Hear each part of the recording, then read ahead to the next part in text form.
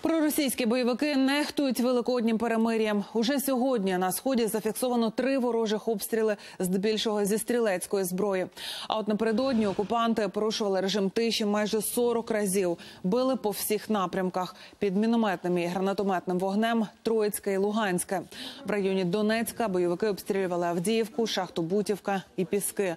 Попри чималу кількість ворожих атак, минулося без втрат. Повідомили у штабі АТО.